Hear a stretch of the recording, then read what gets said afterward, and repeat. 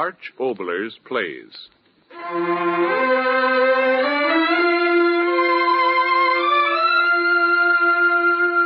A story in the night.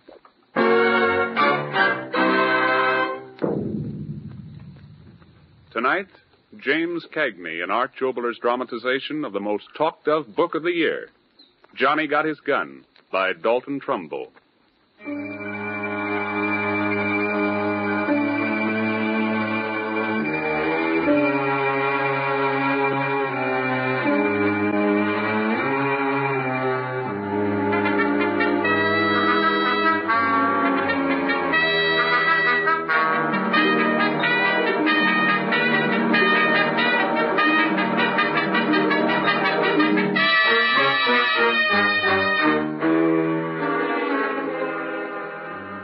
Tell you of Joe Bonham. Twenty-two years ago, he went to war. They carried him back from that war. They carried him back because he had no arms, no legs, no ears with which to hear, no eyes with which to see, no mouth with which to speak. Today, he lies alone in a room in a hospital close to your city. He's living flesh and he waits. Your world is shut off from Joe Bonham. He has only the world within his own mind. We tell you of Joe Bonham. These are the thoughts of a boy who 22 years ago went to war. Somebody listen to me. I'm talking to you. Somebody listen to me. Gotta talk to somebody. It's dark and lonely. Somebody. No. Going out of my head again. How can you hear what ain't got a tongue, ain't got a mouth, ain't got. No, won't think of that anymore. Gotta think of something, yeah, something else. If I don't think, my head, yeah, quick, think about when I was a kid. Hey, Joe, come on in swimming. Yeah, swimming. When I was a kid, I went swimming. Dive in the river, feel the water against my legs and my arms. Now I haven't got any le. No, no, won't think of that. Think about my town. It's the nicest little old place on earth, Shale City. I gotta remember. Hamburger, get your hot hamburger, get your hot hamburger. Yeah, best hamburgers in the world. All right, boy, here's 30 cents. Go down and get three hamburgers. Pa. Oh, they're delicious. If I could only cook like this. Ma, she. No. No, don't think of her. Think about. County Fair. See the lady cut in half the fourth part of a dollar. Motorcycle rider, defying death inside a straight up and down circular wall. I. I. I, I can't remember anymore. I gotta remember. I gotta. If I don't remember things, I'll think, and if I think. No. I gotta remember something. Something. Girls. Think about girls. Quick, think about girls. Joe. Karine? Joe, I'm scared. I'm so scared. No. Kiss me. Hold me. We. We shouldn't have turned the lights out. Your old man will be sore. He understands. Mm, Your lips. Mm. Don't go. They'll kill you. I gotta go. When you're drafted, you gotta. Oh, Joe. Joe, I don't want you to go. Hold me. Tight. Maybe we'll never get another chance. Now, Joe. In your arms, Joe. In your arms. In your arms. My arms. My arms. What? What? Joe, hold me. Don't go, Johnny, Joe. get your gun, get your gun, get your gun. Joe, I'm part of you now. Don't great go, Patriot Joe. Theodore Roosevelt said. All aboard, soldier. All aboard, soldier. No, no. Hold me, Joe. Hold me. Both your arms tight around me. Both your arms tight around me. Both your arms tight around me. Both your arms. No, no, stop. My arms. Haven't got any um, arms. you hear me, Karine? I haven't got any arms. I haven't got any arms.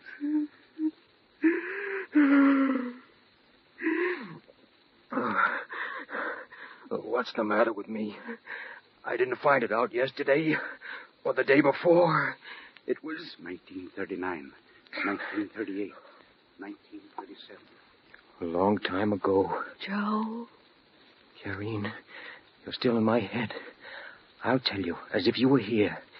Here's how I found out everything about myself. I woke up like out of a dream. It was like I was I was in the water. I tried to swim, but I didn't have any arms. I started to kick my legs to float up in the air out of the bed, but I couldn't kick. I didn't have any legs. I threw my head back. I started to yell. I only started, but how can you yell when you haven't got 'em up? I began to reach out, Karine. The only way I could reach out with the nerves of my skin. The hole in my face. Feel the skin creeping around the edge of it. It went. It went. I was blind.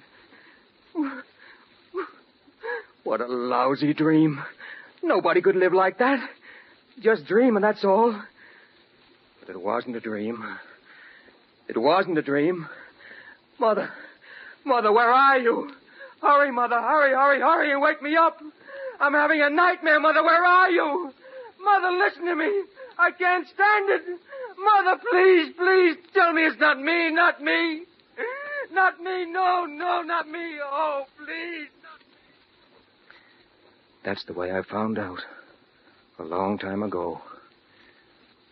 Who was I telling that to? Joe. Oh, Karine. Still in my head. In my heart. Now, now I'll tell you about how I found out about time. About the days. Knowing about the days you're living through, that's important, see? But all I remembered was died in the dugout and then.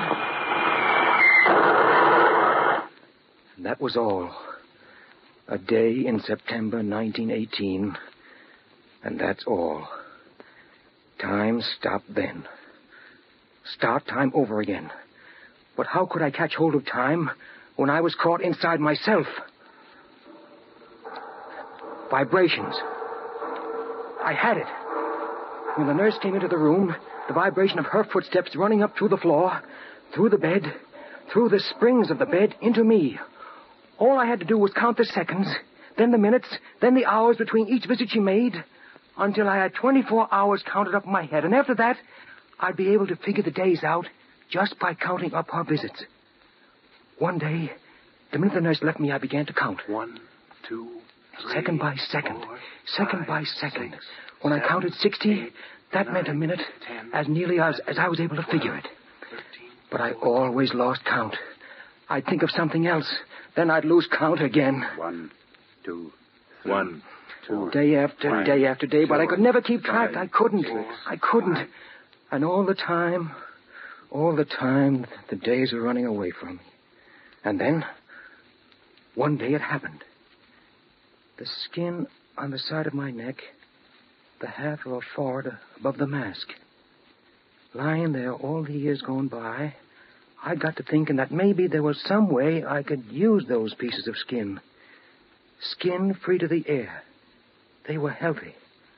I got to thinking what a man did with his skin. To feel with, But that didn't seem enough. to sweat with, Yeah, sweat with. Hot and cold. sunrise and sunset. Just like that. The idea came into my head just like that. All I had to do was to feel with my skin. When it changed from cool to warm on that little piece of skin, it'd be sunrise and the beginning of a day. I got to thinking about the nurse and how many visits she made me each day and when she made them. Yeah, I'd better start with the nurse.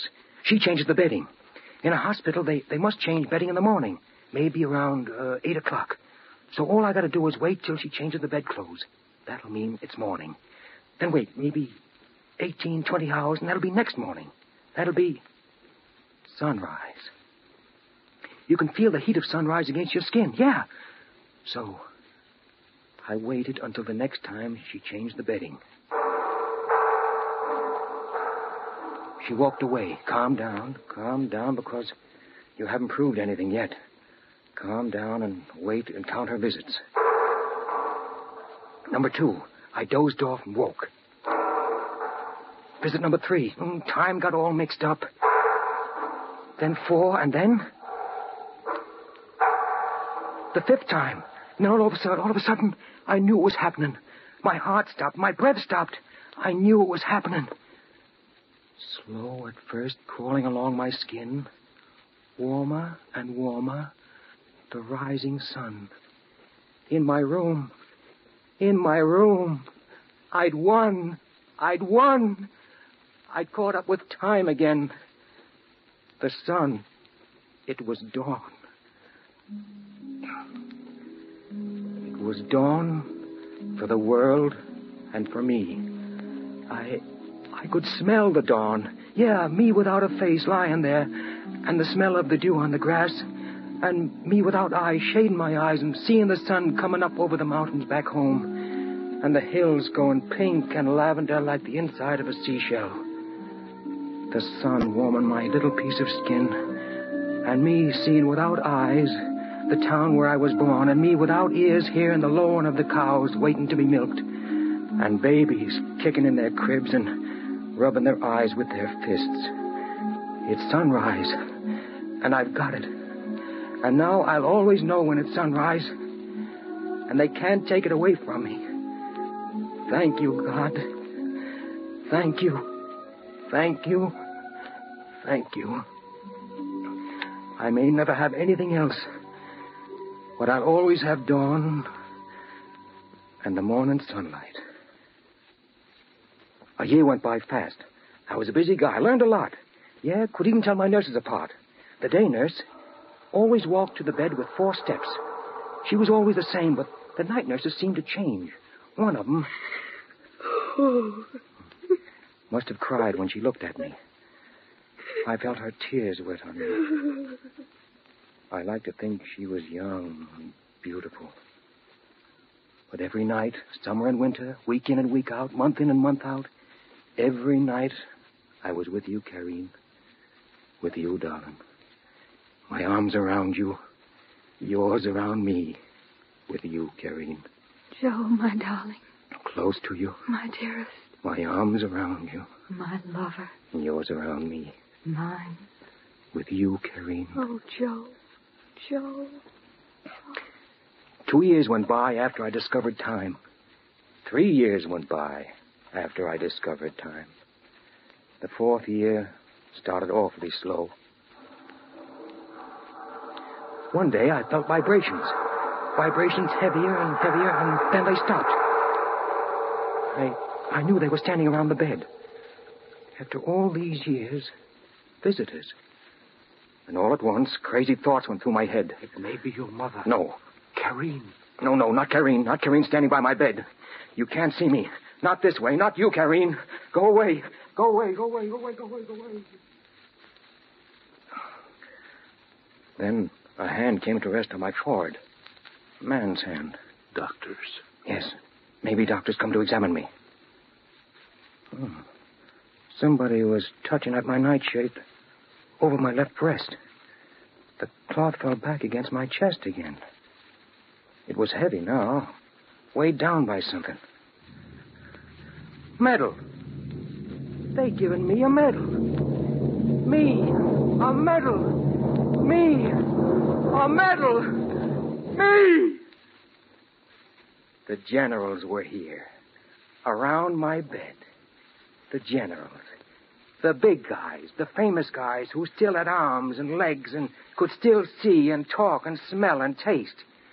In my throat, I felt a tearing of something that used to be a voice. I was talking to them, and they couldn't hear me. I was saying, Listen, big guys, I'm lying here like a side of beef, and for what? War. We're going to war. Yeah, someone said that, so I went. But why? Why? Somebody just said, Let's go out and fight for liberty. Liberty? What kind of liberty? How much liberty and whose idea of liberty? A guy says, Come on, let's fight for liberty. And he can't show you liberty. If you're going to die for liberty, you've got to know in advance what liberty is and whose idea of liberty they're talking about and just how much of that liberty we're going to have. Maybe that's a bad way to think. The big guys say it's bad, and I heard 'em. In the schools and the newspapers and the legislatures and the congresses, that's their business. They sound wonderful. This ground is sanctified by blood.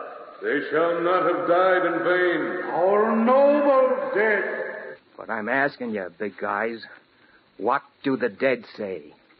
Did any one of them ever come back and say, I'm glad I'm dead because death is always better than dishonor. did they say, I'm glad I died to make the world safe for democracy. Nobody but the dead know whether all these things people talk about are worth dying for or not? And the dead can't talk. So the words about noble death and sacred blood and honor and such are all put into dead lips by those that got no right to speak for the dead. I'm asking you, big guys, how did they feel about it just before they died? Did all those guys die thinking of democracy and freedom and liberty and honor? You know they didn't. They died crying in their minds like little kids. They died crying for the face of a friend. They died crying for the voice of a mother or father or wife or baby. They died moaning and crying for life. I know. I'm the nearest thing to a dead man on earth. There's nothing bigger than life. What's noble about having your legs and arms blown off? What's noble about being blind and deaf and dumb? I'm dead, big guys, and I died for nothing. You hear me? Nothing, nothing. You hear me, big guys? But they didn't hear me. Just as you couldn't hear me, Karine, if you were standing next to me. All the generals heard was the blowing of the air and the tube in my throat. When I heard the vibrations of the footsteps that said they were going, I began to think. The vibrations. Up to now, I thought only of the vibrations coming to me. How about making my vibrations go to them? Yes, vibrations to them. A footstep on the floor is a kind of vibration. The tap of a telegraph key is another kind. I had it. I had it. When I was a kid, Bill Harper and me, we, we had a telegraph set. Used to telegraph to each other. Dot dash, dot dash, dot dash, dot. I remember the code, the Morse code. All I had to do to break through to, pe- to the people outside was to lie in bed and dot dash to the nurse. I could give messages and receive messages. I raised my head from my pillow. I dropped it. Then I did it twice quickly. That was it. With my head, raise my head, let it fall on the pillow. The Morse code. S-O-S, help. I tapped it out of my pillow with my head. S-O-S, all over the world. That meant help. S-O-S, help, help. Then the door of the room jarred open and, and the nurse's footsteps came up to the bed. S-O-S, S-O-S, over and over again. She was looking at me. I knew it, I knew it. S-O-S, help me. S-O-S, help me. S-O-S, oh, why can't you understand? S-O-S, help me. S-O-S, help me. S-O-S, S-O-S. Help me, SOS. Help me. My head full of it. Tapping it out with my head over and over, over and over. Couldn't stop. Why won't they hear me? Why won't they understand? Why won't they hear me? Karine, why? No. There isn't any Karine. There isn't nothing. I've been talking in my head.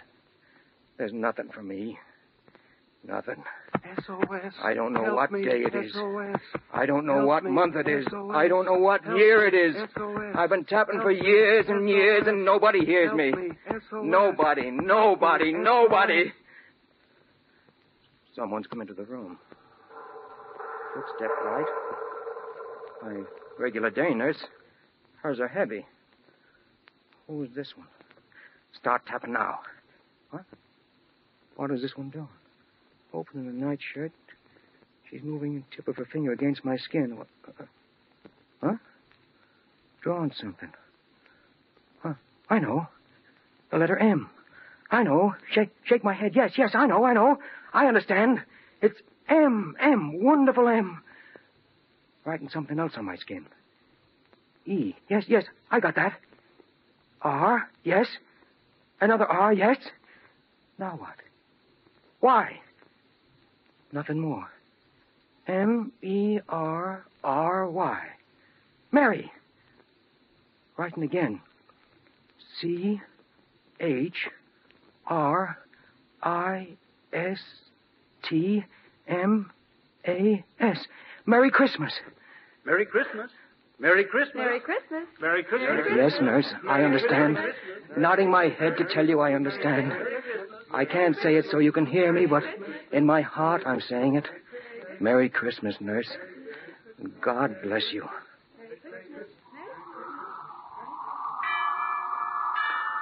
Bells in my town. I'm hearing them in my head, nurse. Twas the night before Christmas, Mother, and all through the house, not a creature was stirring, not even a mouse. Mother, I hear you. The stockings were hung by the chimney with care, in a hope that St. Nicholas soon would be there. Every Christmas Eve, I remember. He sprang to his sleigh, to his team gave a whistle, and away they all flew like down from a thistle. But I heard him exclaim ere he drove out of sight, Merry Christmas to all, and to all a good night. Merry Christmas, Mother. Merry Christmas, Mother. Nurse. New nurse. Smart nurse. She'll pay attention to me. Old nurse didn't understand. New nurse, you've got to understand. Tapping, I'll start. There, nurse. I did it. Did you understand it? Three, two, and three. S O S. Did you understand it? I'll do it again. Morse code. You understand? Morse code. Watch, nurse, watch. If I had a tongue, if I had a mouth, I'd yell it at you. I'd scream it at you. But I have nothing but the tapping of my head, so watch, nurse, watch. If you turn and walk out of the room and never come back, you'll be carrying my life with you. You're life and death to me, nurse. Look, I'll, I'll tap it again. See? S O S. Help me. S O S. Oh, I'll do it again. I'm praying now, nurse. Me, just an ordinary guy, I'm praying. Oh, please, God, make her understand what I'm trying to tell her. Please, God, make her understand. I know you're a busy guy. I know there are millions of people train, playing, praying to you every minute. I know all these things, God, and I don't blame you for getting behind in your orders. Nobody's perfect, but what I want is such a little thing. All I want you to do is to take a tiny little idea that's in my mind and put it in her mind, two, maybe three feet away. That's all I want, God. Just a little idea that's in my mind and put it in her mind. It's such a little thing, God. Such a little thing. She's going away. She's gone out of the room. No, no, can't be true. Can't shove me down under the ground again, bury me deep again. No, no, I won't believe it. I won't. I won't start crying now. She'll come back. She's my life. She's my chance at life. She will come back. She will, she will, she will. Door. She's back. Brought someone with her. Man's finger on my head. What? Finger tapping on my head. Tapping out W. H. Tapping out the code on my head. A. T. W. H. A. T. What? D. O. Y. O. U. Y. O. U. U. W. A. N. T. W. A. N. T. What do you want? What do I want? What do I want? What do I want? I want to get out. Let me out. That's all I want. I've been lying here for years and years in a room in a bed with a, a little covering of skin. Now I want out. I've got to get out. If I had legs, I could run away. I could get away. I could, I could get out into the open where there's air, where there's room, where, where I'm not in a hole and smothering. Inside me, I scream and howl and push and fight for room and air for escape from the smothering, from the loneliness. So, let me out of here and take me back into the world. No. I didn't tap that out. What I just said, I only was thinking. Won't say it to you waiting up there, no. Before I ask you up there, before I tap it out with my head, I've got to think out just what I'm going to tell you. It may be my last chance. Hmm. I've got it. I've got it. Listen, you up there. I'm tapping it out with my head. Let me out of here. Let me out of here. Let me out. I can earn my keep. I can do a job like anyone else. Take me out of here and build a glass case for, for me so people can see me. Take me in my glass case to the beaches, to the county fairs and the church bazaars and the circuses and the traveling carnivals. You'll do a wonderful business with me, and I could pay you for the trouble. They've never seen nothing like me. I'm something you can really holler about. I'm the dead man who's alive, the live man who's dead. I'm the man who made the world safe for democracy. Take me into the places where men work and make things.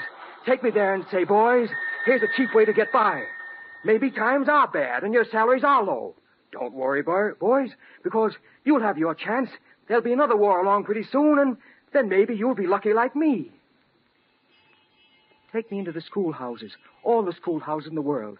They'll scream at first and have nightmares at night, but they'll get used to it because they've got to get used to it. And it's best to start them young. Take me into the colleges and universities and academies and convents. Call the girls together, all the healthy, beautiful young go- girls. Point to me and say, Girls, here is your father. Look, girls, here is your lover. Call all the young men together and say, Here is your brother, here is your best friend, and here are you, young men.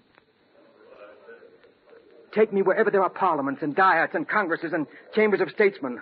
I want to be there when they talk about honor and justice and making the world safe.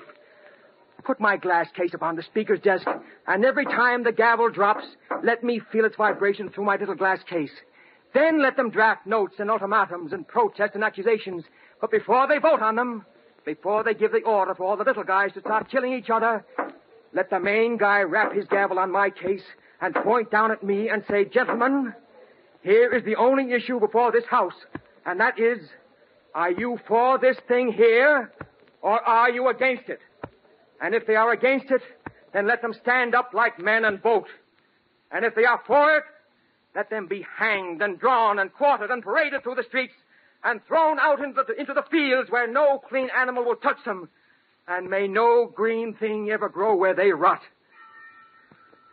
Take me into your churches, your great towering cathedrals, which have to be rebuilt every 50 years because they are destroyed by war.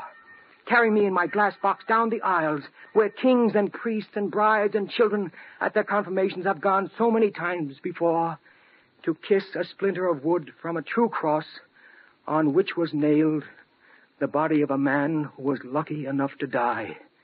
Set me high on your altars and call on God to look down upon his murderous little children, his dearly beloved little children. Then bring in the fierce ones, the spawners of hate, the inventors of slogans. Bring them in and make them look at me, and then dare them, dare them to break the peace.